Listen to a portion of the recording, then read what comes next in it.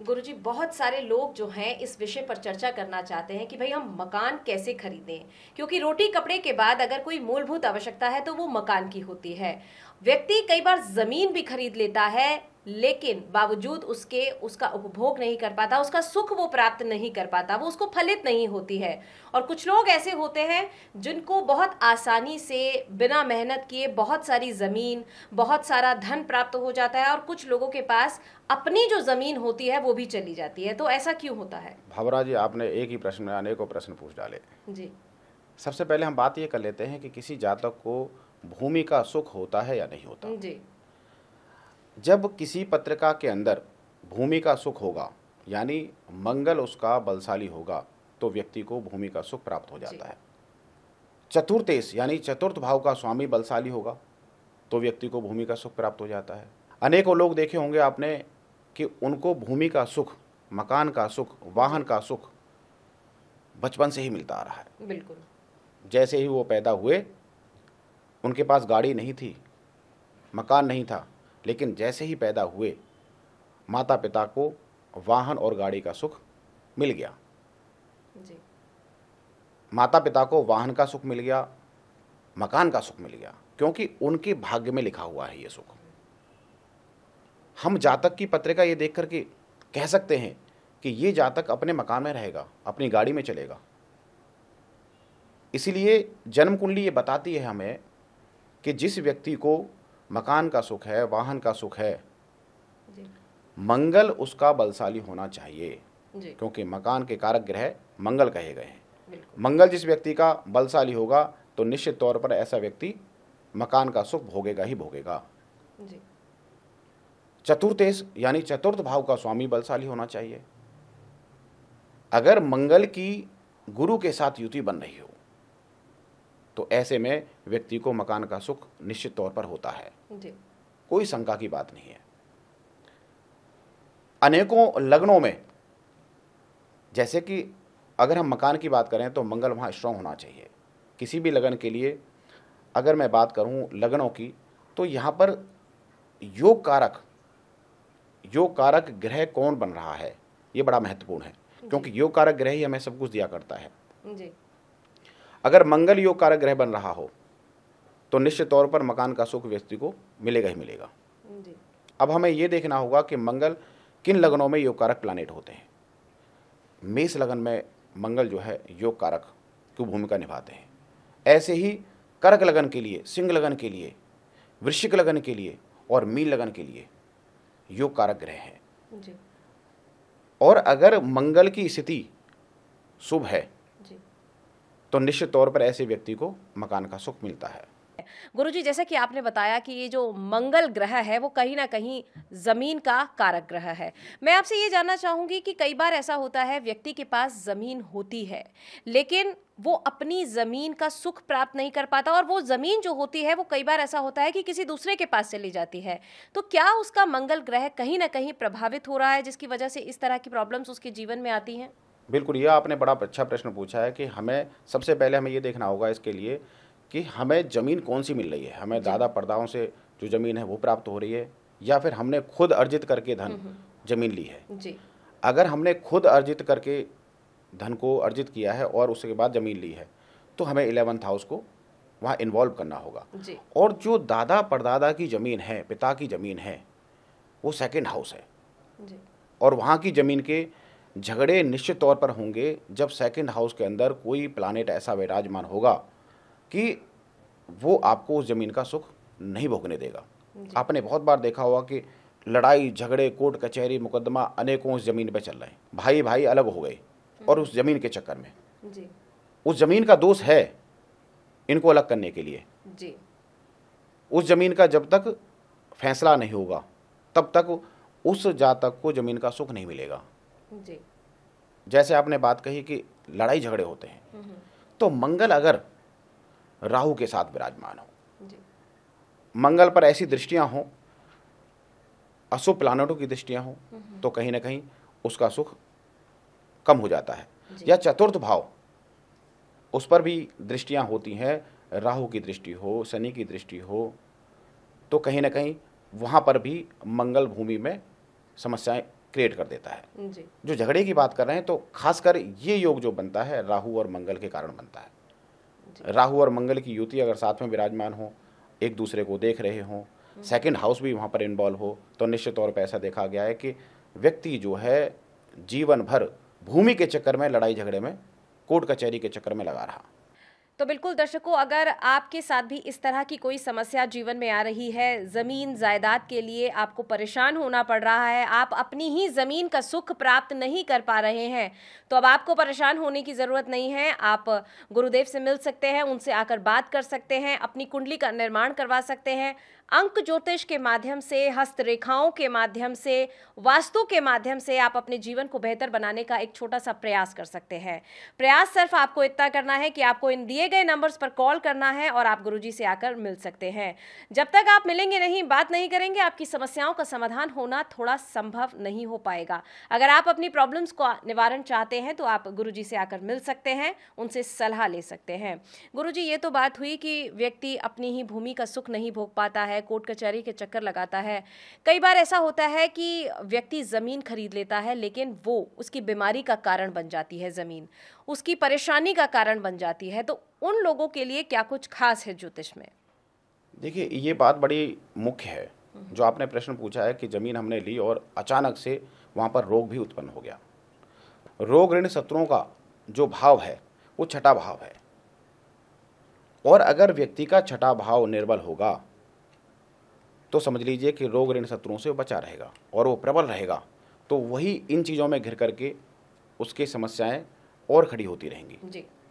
अगर मंगल छठे भाव में विराजमान हो जाए या हम शत्रुहंता बोलते हैं लेकिन लड़ाई झगड़े वहाँ पर भी होते हैं भूमि के चक्कर में। सेकेंड हाउस से इन्वॉल्व हो जाइए। तो जो कुटुंब की संपत्ति थी दादा परदादाओं की संपत्ति थी उस संपत्ति को लेकर के झगड़े उत्पन्न हो जाते हैं। जी। और परिवार टूट जाता है। बिल्कुल। जन्म पत्रिका में ऐसे बहुत सारे योग बनते हैं जो भूमि का सुख नहीं लेने देते। जी। बिल्कुल गुरुदेव, आपने बताया कि भूमि का सुख व्यक्ति कई बार नहीं प्राप्त कर पाता है। जैसे कि आज हम मॉडर्न समाज में रह रहे हैं। आज हम ऐसे समाज में रह रहे हैं जहाँ पर व्यक्ति एक दूसरे को देखकर खुश नहीं होते हैं और कई बार ऐसी परिस्थितियाँ भी आ जाती है कि हमें एक कमरे के मकान में ही सर्वाइव करना पड़ता है। जहाँ पर वास्तु दोष अगर है भी तो व्यक्ति को उसी के साथ जीवन में आगे बढ़ना है। तो उन लोगों के लिए क्या कुछ खास है? देखिए छोटे छोटे मकान में जो व्यक्ति रह रहा है और उसके अंदर वास्तु दोष लगता है कि आपको है क्योंकि वास्तु दोष तीन चीज़ें आपको अवश्य देखनी चाहिए। आपकी टॉयलेट कहाँ बनी हुई है? हम्म, हम्म। आपका मंदिर कहाँ पर है? हम्म। आपका शयन कक्ष कहाँ पर है? सोने का स्थान कहाँ पर है? ये तीन चीज़ें अगर आपकी ठीक हो गई तो निश्चित तौर पर आपका सेवेंटी एटी परसेंट वास्तु ठीक हो जाता है। मानसिक संतुलन व्यक्ति का बिल्कुल ठीक हो जाएगा। बिल्कुल।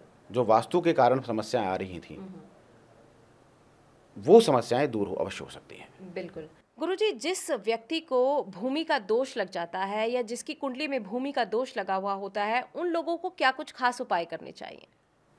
देखिए सबसे पहले तो आपको ये पत्रिका देखनी पड़ेगी कि मंगल आपका बलशाली है या नहीं। अगर मंगल बलशाली है तो छोटे छोटे उपायों के हिसाब से उपाय भी कर सकते हैं और हनुमान जी महाराज की कृपा हो सकती है तो आप ऐसे ही जी। उससे निजात पा सकते हैं। जी। पत्रिका ज़रूर दिखाना बहुत ज़रूरी है। अगर पत्रिका दिखाते हैं तो निश्चित तौर पर ज्योतिषी ये बता सकता है कि मंगल का दोष है या नहीं। जी। अगर मंगल का दोष होगा तो उपाय अलग होंगे। जी। अगर मंगल योग कारक प्लानिट होगा तो उपाय अलग होंगे। बिल्कुल। इसलिए छोटा सा उपाय मैं आपको बता देता हूँ कि इसके अंदर अगर कोई समस्या ऐसी है कि भूमि नहीं बन पा रही है भूमि का सुख व्यक्ति को नहीं मिल पा रहा है। तो छोटा सा उपाय हनुमान जी महाराज का उपाय है एक तिकोना झंडा लीजिए।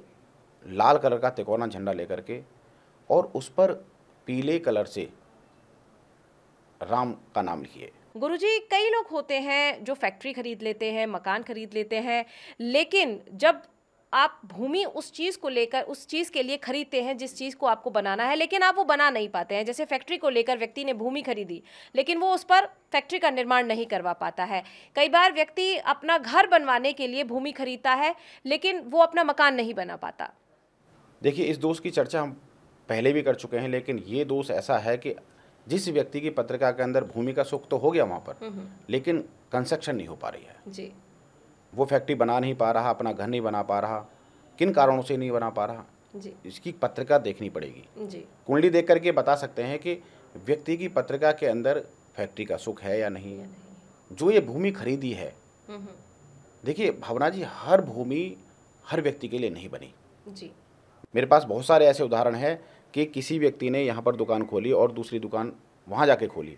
तो ये दुकान तो चल रही है ये शॉप तो उसकी चल रही है लेकिन दूसरी शॉप नहीं चल रही है। चल रही। है इसका मतलब है कि इस ज़मीन का सुख ही उसको धनवान बना रहा है। अब हम बात करते हैं उपाय की कि उपाय व्यक्ति को क्या करना चाहिए। देखिए उपाय के तौर पर अनेकों उपाय मंगल के कर सकते हैं लेकिन एक उपाय आपको जो आपने फैक्ट्री खरीदी है जगह खरीदी है जी जी।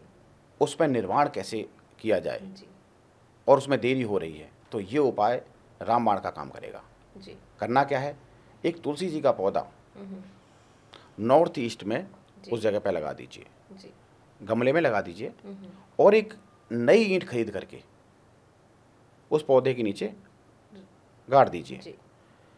ये कोशिश करनी पड़ेगी आपको कि उस पौधे का रख रखाव कोई व्यक्ति करे उस पर जल दे। हम्म।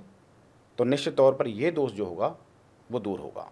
गुरुजी क्या जब भी हम ज़मीन खरीदते हैं या कभी भी हम भूमि ले भूमि का निर्माण भूमि पर निर्माण कराने जाते हैं तो क्या उससे पहले कुंडली को दिखवाना ज़रूरी हो जाता है? देखिए कुंडली को दिखवाना जब हम भूमि खरीद रहे हों तब भी दिखवा सकते हैं। जी। भूमि का सुख आपको है या नहीं?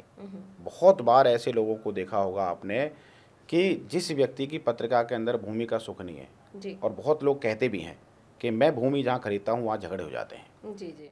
या कोई ना कोई ऐसा केस स्टार्ट हो जाता है वहाँ पर या तो झगड़े हो जाएँ या कोई उसको घेर ले। हम्म, अनेकों ऐसी स्थितियाँ समक्ष आती हैं व्यक्ति जी के। लेकिन हमें कुंडली ज़रूर दिखानी चाहिए। अगर आप कुंडली दिखा करके भूमि खरीदते हैं कौन सा समय चल रहा है? जी। मंगल अगर योगकारक प्लानिट है और मंगल योगकारक की दशा में अगर भूमि खरीदते हैं ऐसी स्थिति में आपको कभी भी जीवन में उस प्रॉपर्टी को लेकर के समस्याएँ नहीं आएँगी। जी जी। अंतर दशाओं में मंगल अच्छा चल रहा हो महादशा चल रही हो मंगल की जी। तो ऐसे में व्यक्ति को उन दशाओं में समस्याएँ नहीं आएँगी। लेकिन अगर मंगल का एनिमी की दशा चल रही है सपोज़ करो बुध की दशा चल रही है और आप फैक्ट्री या मकान खरीदने चले गए तो निश्चित तौर पर वही झगड़ा आपको कोर्ट कचहरी तक पहुँचा सकता है। बिल्कुल। आपने तो निवेश किया भूमि में कि दो पैसे मेरे बन जाएँ। हम्म, लेकिन आप कोर्ट कचहरी तक पहुँच गए। जी। तो दशाएँ अंतरदशाएँ महादशाएँ हमें देखनी पड़ेंगी कि किस समय पर क्योंकि मुहूर्त एक बड़ा विशेष महत्व जीवन में दर्शाता है। जी। मुहूर्त का एक अलग विषय है कुंडली का एक अलग विषय है। हम्म, तो हम कहीं ना कहीं जन्म पत्रिका के अंदर देख सकते हैं कि व्यक्ति का समय कैसा चल रहा है। अगर समय अच्छा चल रहा होगा तो ज़मीन में मिट्टी भी सोना बन जाती है। हम्म, और अगर समय गलत चल रहा होगा तो सोना भी मिट्टी हो जाता है। है। गुरुजी कई बार ऐसा होता है व्यक्ति चाहता है कि मैं ज़मीन खरीद लूँ लेकिन उसकी कुंडली में इस तरह के योग नहीं है इस तरह के ग्रह मज़बूत नहीं है कि वो ज़मीन खरीदे। तो उसके लिए क्या ऑल्टरनेटिव है? क्या वो अपने साथी के नाम पर ज़मीन खरीद सकता है या बच्चों के नाम पर खरीदना बेहतर रहता है? तो किस तरह के ऑल्टरनेटिव ज्योतिष शास्त्र के अंदर हैं? ये बड़ा अच्छा प्रश्न है आपका कि अगर किसी व्यक्ति की पत्रिका के अंदर ये लिखा नहीं है कि उसको ज़मीन का सुख मिलेगा और वो किसके नाम पर खरीदे? जब भी वो ज़मीन खरीदेगा ये तो देखिए निश्चित बात है जब भी वो ज़मीन खरीदेगा उसको समस्याओं का सामना करना पड़ेगा चाहे वो किसी और के नाम पर भी ले क्योंकि धन तो उसी का गया। अगर कभी कभी हम अपनी वाइफ के नाम पर ले लेते हैं जी। तो हम यहाँ देखते हैं कि कुंडली कुछ न कुछ ग्रहों का प्रभाव कुछ न अलग देखने को मिल जाता है। जी। और हम भी उपाय बताते हैं अगर आपका मंगल योग कारक प्लानेट नहीं है मंगल शुभ नहीं है तो आप अपने नाम पर ज़मीन कभी ना लें। जी। नहीं तो उसके अंदर झगड़े फसाद अवश्य होंगे। वहाँ पर हम ये सलाह दे देते हैं कि व्यक्ति अपने पुत्र के नाम पर ले ले अपनी वाइफ के नाम पर ले ले। माता पिता के नाम पर ले सकता है। लेकिन कहीं ना कहीं ये पत्रिका देखना बहुत ज़रूरी है कि उनकी पत्रिका के अंदर भी मंगल बलशाली है या नहीं। अगर उनकी पत्रिका के अंदर बलशाली नहीं होगा तो निश्चित तौर पर वो समस्याएँ जो आपको आ रही थी वो भी उनको आरंभ हो जाएँगी। गुरुजी ये जो पार्टनरशिप में ली हुई ज़मीनें होती हैं पार्टनरशिप में बनाई हुई फैक्ट्रीज होती हैं ये कैसे फलदायी हो? देखिए यहाँ पर हम पार्टनरशिप की बात करें तो सबसे पहले हम इस बात को देखेंगे कि सप्तम भाव पार्टनरशिप का है। अगर सप्तम भाव व्यक्ति का बलशाली है सप्तम भाव अगर व्यक्ति का बलशाली है तो निश्चित तौर पर पार्टनरशिप उसको फलेगी। हम्म, अन्यथा आप एक क्या चार पार्टनरशिप कर लीजिए। पार्टनरशिप उस व्यक्ति को नहीं फलेगी। पहले तो हम ये देखेंगे कि सप्तम भाव व्यक्ति का मज़बूत है या नहीं। बहुत सारे लोग आपने देखे होंगे कि पार्टनरशिप में धनवान हो जाते हैं और अनेकों लोग आपने देखे होंगे पार्टनरशिप की और वो निर्धन हो गए। जी। उस व्यक्ति का भाग्य चल रहा था अकेले काम कर रहा था व्यक्ति। लेकिन जैसे ही उसने पार्टनरशिप की तो वह धनहीन हो गया। जितना भी काम था वो और ख़राब हो गया। तो यहाँ सप्तम भाव अगर बलशाली होगा तो हम ये कह सकते हैं कि पार्टनरशिप कर सकते हैं। तो गुरुदेव जब भी हम ज़मीन खरीदे तो अपने पार्टनर की कुंडली और अपनी जो कुंडली है उन दोनों की कुंडली का मिलान कराना उन दोनों की कुंडली को जांचना बेहद ज़रूरी हो जाता है। चाहे हम बिज़नेस करें हम्म, चाहे हम भूमि पार्टनरशिप में लें कोई भी व्यापार करें जी। तो हमें पत्रिका देखना बहुत ज़रूरी है। हम्म, बहुत सारे लोग आपने देखे होंगे कि जिस व्यक्ति की पत्रिका मिलती हो एक दूसरे से जी। तो वो पार्टनरशिप होकर के भी धनवान बन जाते हैं दोनों। जी। एक के साथ एक का काम नहीं चल रहा था और दूसरे के साथ वो पार्टनर मिल गया। हम्म, तो उसका भी काम चल बैठा। जी। तो ऐसे ही अगर पत्रिका दिखा करके अपने एस्ट्रोलॉजर के पास जाएँ और पत्रिका दिखाएँ कि मैं इस व्यक्ति के साथ काम कर सकता हूँ या नहीं कर सकता। हम्म, जहाँ तक कि आप अपनी वाइफ के साथ भी काम नहीं कर सकते। हम्म, अपने बेटे के साथ भी काम नहीं कर सकते। जी। जब तक गुण नहीं मिलेंगे उनके जैसे विवाह में गुण मिलान होते हैं उसी तरीके से हम पार्टनर कोई भी व्यापार करते हैं उसमें गुण मिलान करते हैं। जी। इस व्यक्ति का सत्यमेश अच्छा है या नहीं तब हम इस डिसीज़न पर जाएँगे कि इस व्यक्ति को पार्टनरशिप फलेगी। जी। और पार्टनरशिप फलेगी तो निश्चित तौर पर आप कोई भी काम चाहे फैक्ट्री लगा लें साथ में चाहे कोई व्यापार कर लें जी। चाहे आप भूमि साथ में ले लें हम्म, तो ये काम आपके बड़ी सुलभता से हो जाएँगे। गुरु जी यहाँ पर आपसे जानना चाहेंगे कुछ लोग जो होते हैं जन्मजात ही भूमिवान होते हैं। जन्म से ही उन्हें बहुत ज़्यादा भूमि प्राप्त होती है। और कुछ लोग जो होते हैं वो जन्मजात भूमिहीन होते हैं या फिर अगर उनके पास भूमि होती भी है तो वो भी चली जाती है। देखिए भावना जी इस प्रश्न का उत्तर जानने के लिए आपको कुछ पीछे जाना पड़ेगा कि जब भी हमारी पत्रिका के अंदर कोई भी ग्रह हम्म, बलहीन या बलशाली विराजमान होता है तो आसे तो नहीं बैठा। हम्म, ये तो पहले से ही विराजमान है। हम्म, जब हमारा जन्म हुआ तो मंगल नीच का हुआ। जी। इसका मतलब ये हुआ कि हमें आज हमने मंगल नीच का नहीं किया। हम्म, ये हमारे पिछले जन्मों के कर्मों के अनुसार मंगल नीच का विराजमान हुआ। जी। अब आप देखिए कि अगर जिस व्यक्ति की पत्रिका के अंदर मंगल नीच का विराजमान होगा तो निश्चित तौर पर ऐसा व्यक्ति पिछले जन्मों में किसी की भूमि हड़प करके आया है। जी। या अपने भाई की क्योंकि मंगल भाई का भी कारक है। जी। अगर भाई की भूमि हड़पी है तो निश्चित तौर पर व्यक्ति का मंगल बलशाली नहीं होगा। जी। बलहीन होकर के विराजमान होगा। और आज जो लोग परेशान हो रहे हैं भूमि के लिए क्योंकि वही लोग परेशान हो रहे हैं भूमि के लिए जिनका मंगल बलशाली नहीं है उनका साथ नहीं दे रहा। हम्म, इसका मतलब ये हुआ कि पिछले जन्मों में जो कर्म किए आपने उनका भुगतान आपको भुगतना पड़ रहा है। जी। और भूमि खरीदने का सही समय जो होगा ऐसे व्यक्ति के लिए उसके पिछले जन्मों के कर्मों का बैलेंस जब खत्म हो जाएगा जी। जो उसने अपने भाई को कष्ट पहुँचाया था या किसी दोस्त की भूमि हड़प कर ली थी। हम्म, आपने बहुत बार सुना होगा कि एक दोनों दोस्तों ने भूमि ली और अचानक एक दोस्त ने किसी धोखे से धोखा करके और भूमि हड़प कर ली। इसका मतलब ये हुआ कि मंगल कहीं ना कहीं निर्बल हो गया। जब पत्रिका के अंदर मंगल निर्बल हो जाता है तो ऐसे ही व्यक्ति को भूमि के लिए दर दर भटकना पड़ता है। जी। उसका मकान जीवन भर नहीं बन पाता। और यही कारण है कि हमारे जो ग्रह हैं ये बताते हैं हमें कि आप क्या कुछ करके आए हैं। क्योंकि ये कर्म योनि है। जी। जो आप करके आए हैं उसको यहाँ आपको भोगना पड़ेगा। जी। हम यहाँ ये भी उदाहरण ले सकते हैं कि एक व्यक्ति अपंग है। जी। या मानसिक संतुलन उसका जन्म से ही परेशान कर रहा है उसको। तो इसका मतलब उसने यहाँ पर आकर के कुछ नहीं किया। जी। उसने किसी को कष्ट नहीं पहुँचाया। जी। और वो क्यों पीड़ित है? इसका मतलब ये हुआ कि पिछले जन्मों का कर्म उसको यहाँ भुगतना पड़ेगा। और जब तक उसका बैलेंस खत्म नहीं होगा तब तक वह भुगतता ही रहेगा। गुरुजी क्या हम अपनी कुंडली के माध्यम से भी ये जान सकते हैं कि क्या ये जो हमारे प्रारब्ध हैं वही हमारे आज के जीवन को प्रभावित कर रहे हैं? बिल्कुल ये बात सच है। हम्म, हम्म, कि हम जन्मे हैं हमारी पत्रिका में सूर्य चंद्रमा मंगल बलशाली हैं बलहीन हैं ये पिछले जन्मों के कर्मों के अनुसार हमें प्राप्त हुए हैं। जी। कोई भी एक ऐसा हाउस है ऐसा समझ लीजिए कि कर्म आपके हाथ में है। जी एक ऐसा हाउस है जी। टेंथ हाउस है जो फ्री विल को दिखाता है। हम्म, हम्म, ग्यारह के ग्यारह भाव आपके हाथ में नहीं है। जी। लेकिन एक टेंथ हाउस ऐसा है हम्म, हम्म, जो भगवान ने आपके लिए छोड़ रखा है। जी। फ्री विल का। कि आप जो करेंगे हम्म, वो आपको भुगतना पड़ेगा। जी। इसलिए कर्मों का जो लेखा जोखा है वो हमें भोगना ही पड़ेगा इससे हमें कोई नहीं बचा सकता। जी। और भगवान स्वयं भी हम्म, कर्मों के आड़े कभी नहीं आते। गुरुजी ये तो बात हो गई मंगल ग्रह को लेकर भूमि को लेकर। अब आपसे एक सवाल और जानना चाहूँगी कि भूमि लेते समय कौन कौन सी चीज़ों का हमें ध्यान रखना चाहिए? देखिए भूमि लेते समय हमें सामान्य बातों का विशेष ध्यान देना चाहिए।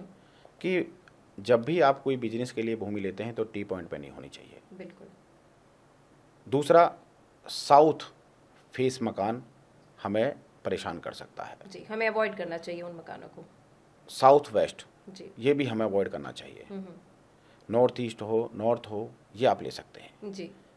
और इस बात का भी ध्यान रखना चाहिए कि वो जो भूमि हम खरीद रहे हैं बिज़नेस के लिए खरीद रहे हैं हम्म, हम्म, व्यापार के लिए खरीद रहे हैं या फिर अपने रहने के लिए निवास के लिए खरीद रहे हैं। दोनों में वास्तु का अलग अलग प्रभाव होता है। जी। कुछ जगह ऐसी होती हैं कुछ भूमि ऐसी होती है कि जो हमें केवल अपने काम के लिए खरीदनी है। जी जी। अपना ऑफ़िस बनाना है फैक्ट्री बनानी है। लेकिन कुछ भूमि ऐसी होती है कि कोई हम अपने मकान के लिए जहाँ हमें सुख शांति चाहिए हम्म, तो उसका फॉर्मूला अलग हो सकता है। वो रास्ता अलग हो सकता है। बिल्कुल, दर्शकों तो भूमि खरीदते समय आपको किन किन बातों का ध्यान रखना है किन किन चीज़ों का आपको परहेज करना है कौन सी दिशा में आपको भूमि खरीदनी है, अगर आप फैक्ट्री लगवाना चाहते हैं तो कौन सी दिशा आपके लिए बेहतर रहेगी? ऐसे बहुत सारे सवाल हैं जिनका जवाब आप गुरुजी के पास आकर ले सकते हैं, अपनी कुंडली दिखवा सकते हैं, नंबर आपकी स्क्रीन पर लगातार फ्लैश हो रहे हैं। फ़िलहाल वक्त हो गया है आप सभी से विदा लेने का, लेकिन जाने से पहले धन्यवाद देना चाहेंगे। हम गुरुजी का गुरुजी, बहुत सारी चीज़ें आपसे जानी, उसके लिए बहुत बहुत शुक्रिया। जय श्री राम जय श्री बालाजी नमस्कार। नमस्कार